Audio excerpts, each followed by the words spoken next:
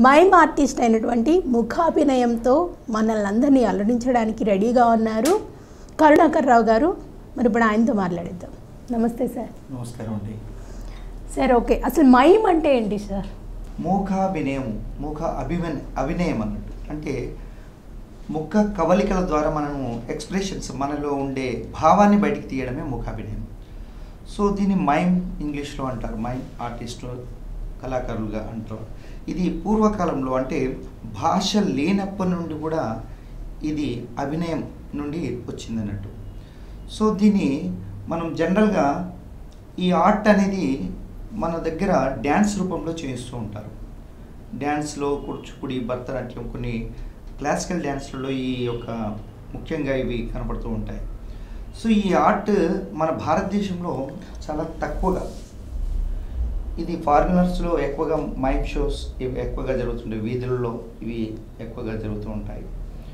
So ఈ mime ఇక్కడ భారతదేశంలో ఉండి మన తెలంగాణ ఆంధ్రాలో చూస్తే ఈ యొక్క ఆర్టిస్టులు చాలా తక్కువగా ఉన్నారు. ఈ మైమ్ మీద ఎక్కువగా ఫోకస్ చేసి ఆర్ట్ ఉంటుంది. కానీ అది ఎక్కువగా ప్రాచుర్యం రాలేదు. మైమ్ అంటే ఏంటిది? మూకాభినయం అంటే ఏంటిది? ఇలా ఉంటుందా? తెలియదు. ఇది ముఖానికి తెల్లది వేసుకుంటారా ఇదే అడుగుతూ ఉంటారు. సో మైమ్ అనేది నా భావనలో నా ఎక్స్పీరియన్స్లో ఒక ద్రవం లాంటిది. మూకాభినయం అనేది ఒక ద్రవం లాంటిది. ఆ ద్రవము మనం ఏ పాత్రలో పోస్తే ఆ పాత్ర షేప్ ఎలా వస్తుందో అలాగే ఈ యొక్క ఆర్టిస్ట్ ఈ ఆ హావభావాలన్నీ కూడా ఆ పాత్రలో లీనమైపోవాలి. అదే మూకాభినయం అదే మైమ్. ఓకే అసలు మైమ్లో ఎన్ని రకాలు మీరు చూపించగలరు? సో మైమ్లో ఎన్ని రకాలు అంటే సోలో మైమ్ ఒక్కడే చేయొచ్చు. గ్రూప్ మైమ్ కలిసి చేయొచ్చు. ఇలా సోలో మైమ్లో నేను కొత్తగా క్రియేట్ చేసింది ఏంటి ఒక క్యారెక్టర్ ఒకే అతను రెండు క్యారెక్టర్లుగా చేయొచ్చు. నేను పంచవటి రామాయణం అని ఆరు క్యారెక్టర్లను ఎక్స్టాబ్లిషన్ చేశాను. అంటే ఆ రామాయణంలో ఉండే రాముడు సీత లక్ష్మణుడు జటాయువు మారీచుడు. సో ఇలా క్యారెక్టర్లన్నీ కూడా అక్కడ ఆ క్యారెక్టర్ని అక్కడ చూపించవచ్చు ఒకే దాంట్లో. సో మైమ్ అనేది ఎలా ఆర్టిస్ట్ ఆ యొక్క పాత్ర తగ్గట్టు లీనమైపోవాలి అక్కడ క్యారెక్టర్ కనపడాలి. సో అలా నేను ఆ పంచవటి రామాయణం అనేది ఒకటి కొత్తగా ఆ, రామాయణంనే ఆ స్టోరీనే ఆరు క్యారెక్టర్లుగా చేయడం. జరిగింది సో తర్వాత ఒక పక్షి బర్డ్ ఆ పక్షిని వేటాడుతున్న వేటగాడిలాగా ఆ. పక్షి నేనే ఉంటాను వేటగాడిగా నేనే ఉంటాను సో ఆ క్యారెక్టర్ ఆహా ఇది బర్డ్ని ఇక్కడ చంపేస్తున్నాడు అనే భావన వాళ్ళకి ఆ యొక్క రూపకల్పన అక్కడ కనబడుతుంది మైండ్లో. సో ఇలా మనం గ్రూప్ మైమ్ చేసుకోవచ్చు. అంటే గ్రూప్లో చాలా క్యారెక్టర్లు పెట్టేసి అంటే అందరూ మైమ్ ఆర్టిస్టుల ద్వారా. నా నా బ్యాచ్ నా స్టూడెంట్స్తో కూడా వాళ్ళతో ఈ యొక్క కొత్త కొత్త ప్రక్రియలు చేయడం మొబైల్ ఫోన్ వల్ల అనర్థాలు ఏంటి సామాజిక పరంగా మనకు సోషల్గా మనకి ప్రాబ్లమ్స్ ఏవో వస్తున్నాయి దాని మీద సోషల్ ఇష్యూస్ మీద కూడా కామెడీ మీద ఇలా మనం ఈ యొక్క కొత్త కొత్త చేసి ప్రోగ్రామ్లు అనేక ప్రోగ్రామ్స్ చేయడం జరిగింది. మరి గత ట్వంటీ ఫోర్ ఇయర్స్గా మీరు ఈ- ఫీల్డ్లో ఉన్నారు ఈ. ప్రొఫెషన్ ఎంచుకున్నారు కదా. అసలు ఈ ప్రొఫెషన్ ఎంచుకోవడానికి గల కారణాలు ఏంటి అసలు ఎందుకు నేర్చుకోవాలనిపించింది? సో నేను పుట్టి పెరిగింది భువనగిరిలో. సో ఆ సమయంలో మాది నటరాజ కళా సంస్థ అని ఒక ఆర్గనైజేషన్ ఉంది. సో దాంట్లో ఆ ఆర్గనైజేషన్లో ఒకసారి ఒక మ్యాజిక్ ప్రోగ్రామ్ ఏదో పెట్టారు. ఆ కళాకారులు రానందు వల్ల వేరే కళాకారులు వచ్చారు. మైమ్ ఆ మైండ్ను అంటే మాకు కూడా తెలియదు అప్పటికి. మిమిక్రీ మైమ్ సో నేను అప్పుడు చూసినప్పుడు ఆ ఆర్ట్ని చూస్తే నాలో చాలా ఏదో భావన కలిగింది. నేను ఎందుకు చేయకూడదు? అప్పటికి నేను ఆర్టిస్ట్గా ఏకపాత్ర వినయము అలా చేసేవాడిని. సో ఇది ఎందుకు చేయకూడదు? మనకి ఏకపాత్ర వినయం లాగా చేసినట్టుగా ఈ మైమ్ ఎందుకు చేయకూడదు? అప్పుడు నా సంకల్పాన్ని ఖాళీ నేను చూసిన తర్వాత ఆ క్యారెక్టర్ను ఎలా చేస్తే బాగుంటుందని నేను అర్థం కూడా చేసుకోవడం ప్రాక్టీస్ చేయడం నాకు ఇన్స్పైర్ అయిపోయింది. తను ఆ, ఆ, ప్రోడా ప్రగడ సుధాకర్ అని జెన్నీ అతని ప్రోగ్రామ్స్ కొన్ని చూ చూడడం జరిగింది. ఆ చూసిన తర్వాత నేను సుధాకర్ అని కందగడ్ల సుధాకర్ అని ఆ ప్రోగ్రామ్ చేశాడు. ఇప్పుడు ఆర్టిస్ట్ అప్పుడెప్పుడో ఉండే ఇప్పుడు లేరు వాళ్ళు. ఎందుకంటే ఈ వృత్తిని పెంచుకుంటే జీవనం అనేది గడవడం కష్టంగా ఉంది సో ఆర్ట్గా మేము చేస్తూ ఉంటాము. కమర్షియల్ ఆర్టిస్ట్గా ఉండడము. ఆ అవకాశం ఆ మైమ్ గురించి తెలిసిన వాళ్ళు ఈ మైమ్ ఆర్టిస్ట్ను పిలవడం ప్రోగ్రామ్ చేయడం జరుగుతూ ఉంటుంది. సో తెలియని వాళ్ళకు మేము కొన్ని షోస్ కొన్ని పెద్ద పెద్ద ప్రోగ్రాంలలో షోస్ కూడా ఇవ్వడం తెలుసు. ఎందుకంటే ఆర్ట్ అందరికి తెలియాలి. ఇక నేను ప్రతి స్కూల్లో కూడా ఈ ఆర్ట్ను మెల్లమెల్లగా డెవలప్మెంట్ చేయడానికి. దీనికి శిక్షణ కేంద్రాలు ఉంటాయా? శిక్షణ కేంద్రాలు మన దగ్గర అయితే లేవు. మన ఫారిన్లో ఉన్నాయి. మన దగ్గర పర్టికులర్ లేదు. కలకత్తాలో కొన్ని శిక్షణ కేంద్రాలు ఉన్నాయి. సో ఇక్కడ మన దగ్గర అంత ప్రాచుర్యం లేదు. మరి ఎలా నేర్చుకోవాలి అనుకునే వాళ్ళకి? నేర్చుకోవాలి అనే వాళ్ళకు ఆ తపన ఉంటే ఆ యొక్క వాళ్ళు సర్చింగ్లో ఉండిపోతారు దొరికిపోతారు. ఏ ఆర్టిస్టులు ఏంటి అనేది. Hmm. మనసులో ఆ భావన సంకల్పం ఉంది అనుకో నేను చెయ్యాలి మై- మైమ్ చేయాలి మూకాభినయం చేయాలి. ఎక్కడ అంటే వాళ్ళు ఆటోమేటిక్గా దొరికిపోతారు. గురుకు గురువు దొరికిపోతాడు. సో వాళ్ళు అలా చేయొచ్చు. ఆ తపన అనేది మనసులో ఉంటేనే వస్తుంది తప్ప ఆట. ఏదో ఊరికే దాంట్లో చూస్తాం దీంట్లో చూస్తాం చేస్తే మాత్రం రాదు.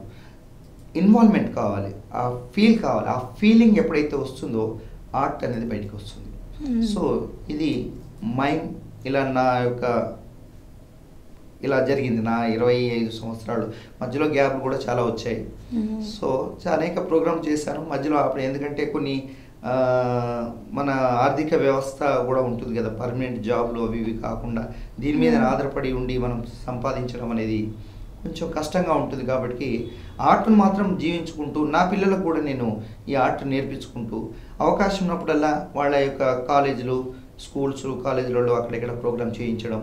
సో నేను చేస్తున్న కొన్ని స్కూల్స్లో అక్కడ నేను ఈ మైమ్ అనేది కూడా కొంచెం క్రియేట్ చేయించి అవి. చేయించడం కల్చరల్ ప్రోగ్రామ్స్లో. మైమ్ ఎందుకు డెవలప్ అవ్వలేకపోతుంది అంటారు ఇప్పుడున్న రోజుల్లో మైమ్ అనేది అంతరించిపోతున్నట్టుగా కనిపిస్తుంది కదా. సో మైమ్ మూకాభినయం అంటే మాటలు లేకుండా చేయడం. సో ఇది కఠినమైంది. ఆ మనసులో సంకల్పం వచ్చినప్పుడే చేయాలనే ఉంటుంది భావన. మనసులో ఉండే భావాన్ని మనం ఎక్స్ప్రెస్ చేయడాన్ని మైమ్ అంటారు ఆ ఫీల్ అయ్యి చేయడం అనేది దానికి మేకప్ చేసుకోవడం మేకప్ లేకుండా చేసుకోవచ్చు కూడా. మేకప్ లేకుండా కానీ ఉప్పు లేని పప్పు లాగా ఉంటుంది. యా. అది ఎఫెక్షన్గా ఉండదు. ఇప్పుడు నేను మైండ్ చేస్తానని చెప్పేసి వచ్చానుకో నార్మల్గా మీరున్నట్టుగా నేను ఉంటే మీకు నాకు తేడా ఏమి ఉండదు. సో మైమ్ అనేది ఒకటి. ఒక ప్రత్యేకమైన గుర్తింపు అంటే ఆ ప్యాన్ కేక్ ఆ ముఖానికి వైట్గా వేసుకోవడం. అంటే ఎక్స్ప్రెషన్స్ కూడా బయటికి ఈజీగా గ్రాస్పింగ్ కావడం ఉంటుంది. సో ఇది మైండ్ ఇలా డెవలప్ కాకపోవడం కారణ- కారణం ఏంటంటే ఇక్కడ జరిగేది ఏంటంటే ఈ దానికి కొంచెం కఠినంగా ఉంటుంది కాబట్టి ఎవరు పెద్దగా ఇంట్రెస్ట్ చూపించకపోవచ్చు. సో కరెక్ట్ శిక్షణ కేంద్రాలు కూడా లేవు. మైండ్ డెవలప్ చేయాలంటే శిక్షణ కేంద్రాలు కూడా లేవు. సో దానివల్ల కూడా లేదు. ఈ గతంలో మెల్లమెల్లగా మన తెలంగాణ ఆంధ్రలో చూస్తే వేళ్ళ మీద లెక్క పెట్టుకునే ఆర్టిస్టులు ఉన్నారు. సో ఆ, నేను చూసి నేర్చుకున్నది కళాధరిని మా గురువు గారు అంటే నేను చొక్కా వెంకటరమణ గారు ఆయన మైమో మెజిషియను సో నేను చిన్నప్పటి నుండి తన దగ్గరికి వెళ్ళడము ఆయన దగ్గర టెక్నిక్స్ ఏంటి ఎలా చేయాలి నేను చేసింది తను చూసి ఓకే అనడం. తర్వాత ఈ కళాధర్ గారు ఆయన ఆయన కూడా కొన్ని చెప్పడం. సో ఇలా డెవలప్ అయ్యి తనతో చాలా ప్రోగ్రామ్స్ చేయడం కూడా జరిగింది. సో ఈ మైండ్ ఇంట్రెస్ట్ ఉంటేనే బాగా పండించగలుగుతారు చేయగలుగుతారు. ఓకే అండి. సరే మన ఆడియన్స్ కోసం కొన్ని మీ ముఖాభినయంతో కొన్ని చేసి చూపించండి. ఇప్పుడు మైమ్ అనేది ఆడియన్స్ గురించి చేయించాలి అంటే దీంట్లో యాక్షన్ కొంచెం ఓవర్ యాక్షన్ అతిగా ఉన్నాం ఎందుకంటే మైండ్ ప్యాన్ కేక్ ఉంటుంది కాబట్టి కొన్ని ఆ ఎక్స్ప్రెషన్ బయటికి రానప్పుడు దాన్ని మనం బాగా ఎక్స్ప్రెస్ చేయడానికి కొంచెం ఓవర్గా చేసేది ఉంటుంది. జనరల్గా చేసేటివి కనపడవు. అది మైండ్లో ప్రత్యేకత కనబడుతుంటుంది సపోజ్ ఎవరైనా కొట్టారనుకో ఇలా షాక్ అయిపోతాం. అంటే ఏదో ఇక్కడ కొట్టగానే సర్ప్రైజింగ్. అవి దాంట్లో ఇలా ఒకేసారిగా రావడం. సరే ఏదైనా బాధగా ఉందనుకో. ఆ ఫేస్ ఎక్స్ప్రెషన్స్ Hmm. బాధ ఫేస్ Hmm. ఇలా కనబడుతుంటుంది తర్వాత నవ్వుతున్నప్పుడు.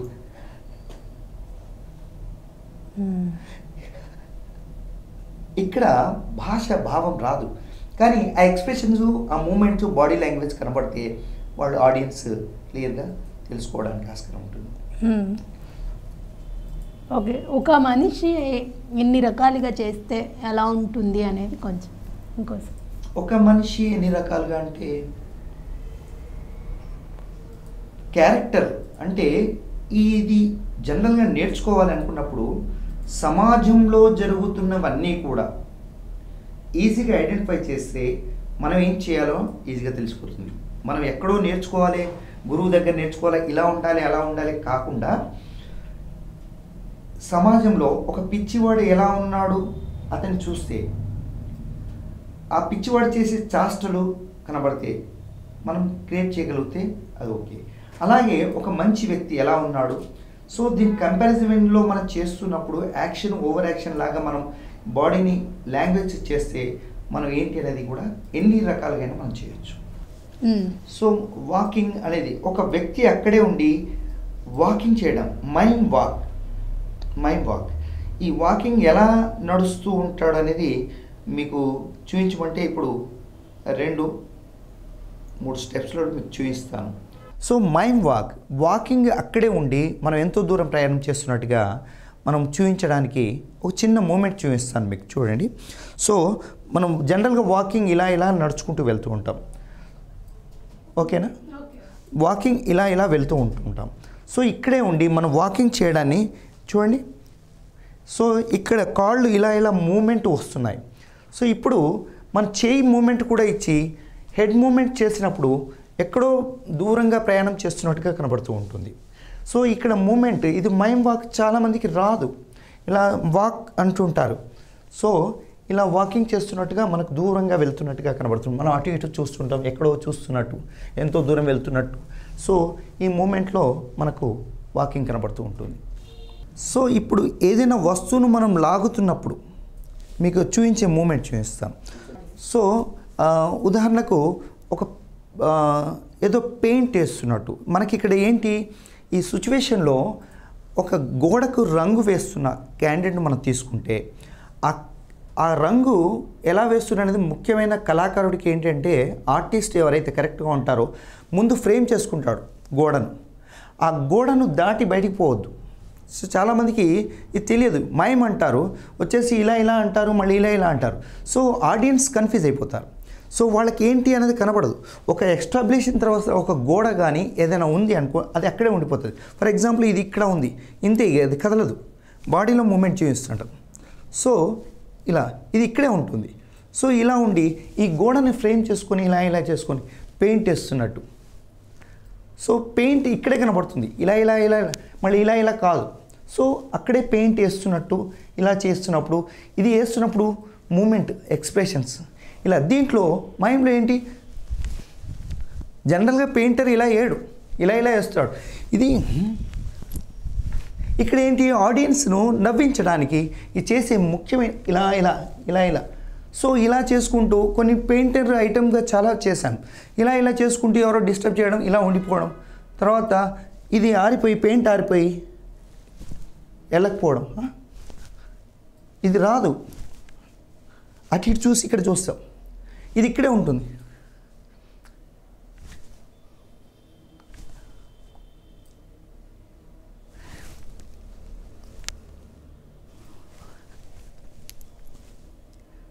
చూడండి ఇది ఇక్కడే ఉంటుంది.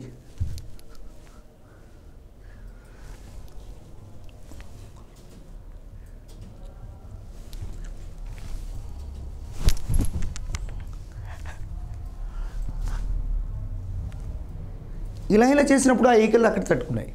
బ్రష్ మాత్రమే వచ్చింది. బ్రష్లో ఈగలు. మళ్ళీ ఈగలు తీసేసి పడేయడం.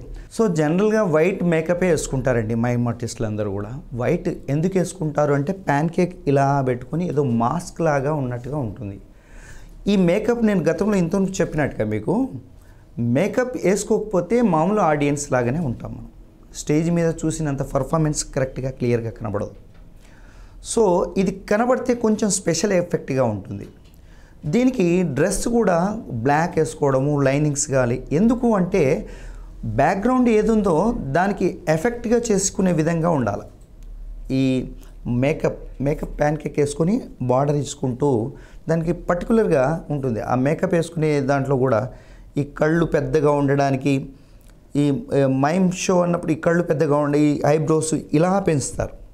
జనరల్గా ఐబ్రోస్ ఇలాగే ఉంటాయి. ఇలా చేసినప్పుడు ఇలా అన్నప్పుడు ఇలా కనబడుతూ ఉంటాయి. సో ఇక్కడ ఇదంతా కూడా ప్యాన్ కేక్ ఫేస్లో ఉండడం వల్ల ఎక్స్ప్రెషన్స్ భయపడదు లిప్ ఇవన్నీ కూడా పెద్దగా తెరుచుకోవడం. సో ఇది మేకప్ కూడా ఇంపార్టెంటే. కొన్ని సందర్భాల్లో మేకప్ లేకున్నా కానీ మామూలుగా మామూలుగా మేకప్ వేసుకొని ఈ ఐబ్రోస్ని పెద్దగా పెంచుకున్నప్పుడు ఆ ఎక్స్ప్రెషన్స్ బయట కనబడడానికి ఉంటుంది. ఐ ఐ లైన్స్ అవి ఇవి ఇచ్చుకుంటే మనకు పెద్దగా కనబడుతుంది ఎక్స్ప్రెషన్స్ బయటకు వస్తాయి.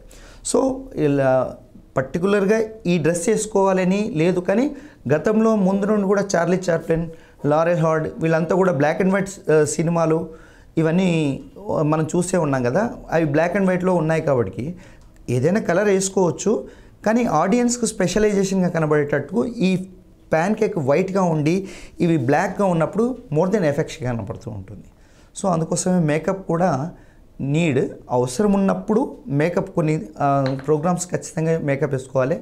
కొన్ని లేకుండా ఈ ఆర్టిస్ట్ ఖచ్చితంగా చూపించాలి ఎక్స్ప్రెషన్స్ అన్నప్పుడు అది అవు- అవి కూడా చేయొచ్చు. ఓకే మైమ్ ఆర్టిస్ట్ అవ్వాలనుకునే వాళ్ళకి ఇంట్లోనే వాళ్ళు ఓన్గా నేర్చుకోవాలని అనుకునే వాళ్ళకి మీరు ఇచ్చే సలహాలు ఎన్ని డేస్ పడుతున్నారని? సో ఎన్ని డేస్ అనేది కాదు. మనం ముందు ఇంతవరకు చెప్పాను మీకు సంకల్పం మనసులో చెయ్యాలనే భావన ఉంటే అది ఖచ్చితంగా చేస్తారు. సో మైమ్ ఆర్టిస్ట్ అనేది సమాజంలో జరుగుతున్న ప్రతి విషయాన్ని మనం కరెక్ట్గా అబ్జర్వ్ చేస్తే మనం దూరంగా ఉంటారు. వాళ్ళ మాటలు వినబడే వాళ్ళ వాళ్ళని పిలవడము అది ఉంటారు ఫర్ ఎగ్జాంపుల్ ఎక్కడో పిలుస్తున్నట్టు ఇలా ఇలా పిలుస్తున్నట్టు ఏదో దూరం చేయబెట్టి దగ్గర ఉండనుకో ఇలా పిలుస్తాం. చిన్నపిల్ల అనుకో అని అంటున్నాం సో ఇక్కడ ఆ డిస్టెన్స్ను కూడా ఈ కళ్ళల్లో చేతులలో బాడీ లాంగ్వేజ్లో చూపించినప్పుడు మీకు అది తెలుస్తుంది. మన సమాజంను బాగా స్టడీ చేసి మన ఇంట్లో జరుగుతున్న నిత్యం జరిగే అన్నీ కూడా చేస్తున్నాం అనుకో అవన్నీ జరుగుతాయి. ఫర్ ఎగ్జాంపుల్ స్త్రీ అలంకరణ ఆడవాళ్ళు తయారవుతూ ఉంటారు. అది ఎలా తయారు చేస్తారు? జనరల్గా వాళ్ళు అద్దం కూడా కూర్చుంటారు. అద్దం కూడా కూర్చొని వాళ్ళు తయారయ్యేది వాళ్ళ యొక్క మూమెంట్స్ అవన్నీ కూడా జస్ట్ ఒక సింపుల్గా మీకు చూపిస్తాను. సో ఆ అద్దంలో కూర్చొని ఇలా ఇలా చూసుకుంటూ వాళ్ళకు వాళ్ళే ముర్చిపోకుంటూ వాళ్ళు ఇలా ఇలా చేసుకుంటూ ఉంటూ ఫస్ట్ నెత్తి దువ్వుకోవడం అలా తల దువ్వుకోవడంలో ఇది తీసుకొని ఇది ఏం చేస్తుంటారు?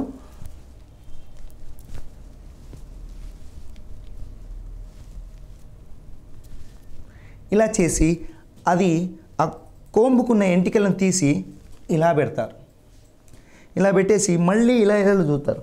దువ్విన తర్వాత వాళ్ళు ఇలా అని మళ్ళీ ఇలా చేసి ఇలా ఇలా ఇలా అంటుంటారు. న్యాచురల్గా అందరూ చేస్తుంటారు. ఇలా చూసుకున్నాక మళ్ళీ ఇలా ఇలా చూసి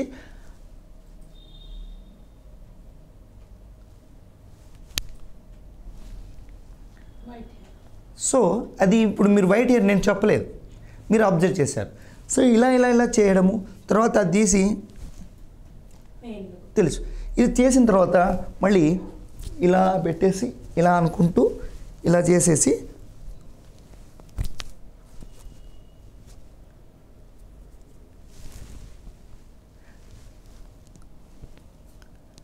సో ఇక్కడ ఈ ఇది నోట్లో పెట్టుకుంటారు ఈవెన్ అది తీసేసి మళ్ళీ పిన్ పెట్టేసి ఇలా అని ఇలా పెడతారు.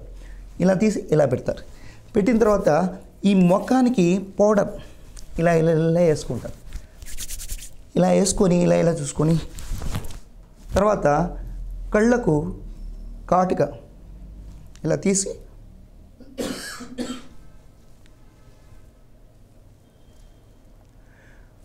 తర్వాత బొట్టు జనరల్గా ఇలా పెడుతుంది ఇక్కడ ఇలా అది అద్ది ఇలా ఇలా మూమెంట్ చూపిస్తుంటారు. తర్వాత లిప్స్టిక్.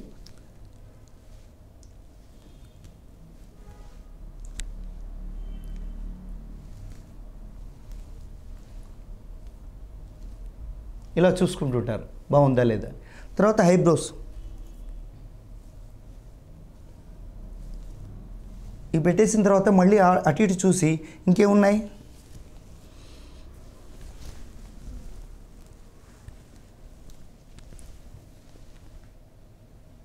ఇలా చూస్తూ ఉంటారు. మళ్ళీ కొంగును సరి చేసుకోవడము బ్లౌజ్ని సరి చేసుకోవడం. సి ఇదంతా కూడా న్యాచురల్గా అందరూ చేస్తూ ఉంటారు. ఇంట్లో మన చెల్లి తల్లి పెళ్ళి పెళ్ళ అందరూ కూడా చేస్తూ ఉంటారు. సో దీన్ని మనం కరెక్ట్గా చూసి అదే కాదు ఏదైనా వంట చేస్తున్నప్పుడు ఆ స్మెల్ ఇది చూసి టేస్ట్ బాగుంది. సో మనకు జనరల్గా జరుగుతున్న విషయాలనే మనం ఇక్కడ చేసి కొంచెం ఎక్స్ప్రెషన్స్ అవసరాన్ని బట్టి మనం చేసుకుంటే మనకు అదే మాయం. మూకాభినయం. మాటలు లేకుండా ఉండేదంటే మన భాష లేని టైంలో ఈ మూకాభినయమే మనకు ప్రాచుర్యం ఉంది.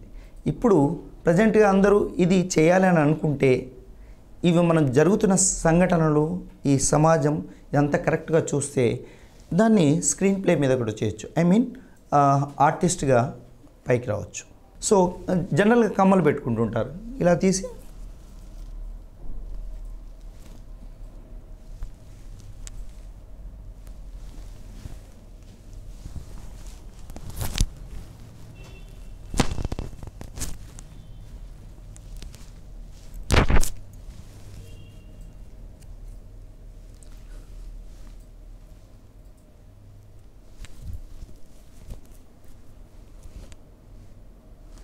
సో టైం చూసుకోవడానికి. సో వాచ్ పెట్టుకుంటున్నారు గాజులు పెట్టుకుంటున్నారు రింగ్స్ పెట్టుకుంటున్నారు. మళ్ళీ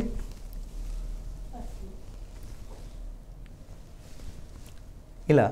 సో మన ఎక్స్ప్రెషన్స్ మనం అక్కడ చూపించవచ్చు సో ఇలా రామాయణంలో కూడా రాముడు సీత లక్ష్మణుడు మారీచుడు సో ఆ క్యారెక్టర్లన్నీ కూడా మనం ఇక్కడ ఎక్స్టాబ్లిషించవచ్చు బయట జరుగుతున్న సమాజంలో ఎలా ఉంది మామూలుగా డ్రైవింగ్ చేస్తున్నప్పుడు ఎక్స్ప్రెషన్స్ గేర్ మార్చుకున్నట్టు క్లచ్ బ్రేకు ఇలా అవుతున్నట్టు. సో ప్రతిదీ కూడా మనం ఒక క్యారెక్టర్లో ఇన్వాల్వ్మెంట్ అయినప్పుడు దాని యొక్క ఎక్స్ప్రెషన్స్ బయటకు వస్తుంటాయి. పిల్లాడు ఏడుస్తుంటే అమ్మ పడే వేదన గురించి ఒక్కసారి. సో జనరల్ పిల్లవాడు ఏడుస్తుంటే తల్లి తట్టుకోలేదు. ఇలా ఏమవుతుంది వాడికి ఏది కావాలి? ఏం తినిపించాలి పాలు ఇవ్వడం సో లేదు అంటే వాడికి ఇంకేదో చేయడం లేకుంటే మీదికి ఎక్కించుకొని జోలపడడం సో ఇది అది చెప్పుకోలేదు. వాడికి ఏమైందో వాడు మాట్లాడలేడు. సో తల్లికి తెలుస్తుంది వాడు కడుపు నొప్పా ఏదో ఉన్నట్టుంది కడుపు నొప్పి ఉన్నట్టుంది. వాడికి ఇంకేం తాపియాలి? లేకపోతే ఆకలితో ఏడుస్తున్నాడా? ఆ డిఫరెన్స్ తల్లికి తెలిసిపోతుంది. ఎందుకంటే ఆ అటాచ్మెంట్ అలా ఉంటుంది. ఆ పేగుబంధం అటువంటిది. సో ఆ తల్లి యొక్క ఫీలింగ్స్ ఆ పిల్లవాడు ఏం చేస్తున్నాడని తెలిసిపోతుంది. ఆ పిల్లవాడికి కూడా కొంతమంది పిల్లలు బాగా అల్లరి పెడుతున్నప్పుడు తల్లి ఇలా చూస్తుంది. ముక్కులు ఇలా ఉబ్బుగా అనుకుంటూ ఇలా అంటుంది. చూడు ఇక్కడ ఫిజికల్గా కళ్ళతో సైగ చేస్తుంది ముక్కులు ఇలా ఉబ్బిస్తుంది మళ్ళీ బాడీ లాంగ్వేజ్. వినలేదనుకో ఫస్ట్ ఇలా చూస్తుంది. ఇలా తల ఊపుతుంది. లేదు వినలేదనుకో. చూసారా? సో భావన ఇవి. మనసులో ఉండి వాడిని కొట్టాలి తిట్టాలి బెదిరించుడు సామ దాన భేద దండోపాయాలు అలా ఈ మూమెంట్లో మనకు అక్కడ కనబడుతూ ఉంటాయి.